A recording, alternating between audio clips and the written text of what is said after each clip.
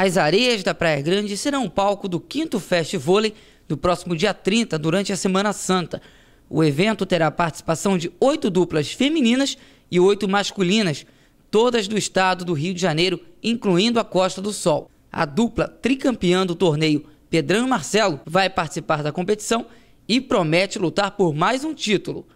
O quinto Fest Vôlei conta com o apoio total da Prefeitura, em conjunto com a Secretaria de Governo, Comunicação, Guarda Municipal, Saúde e Serviços Públicos e Superintendência da Juventude, além da Ecatur.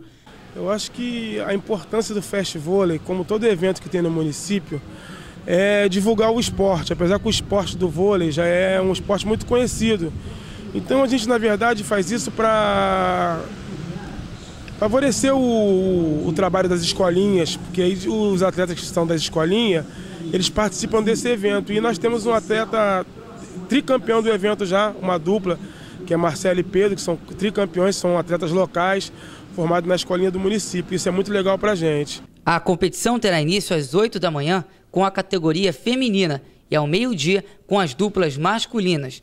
Neste ano, Luiz Augusto Gonçalves de Barros, o Guto, que conquistou vários títulos como o Rei dos Reis em 2003 e o bicampeonato sul-americano, também disputará o torneio.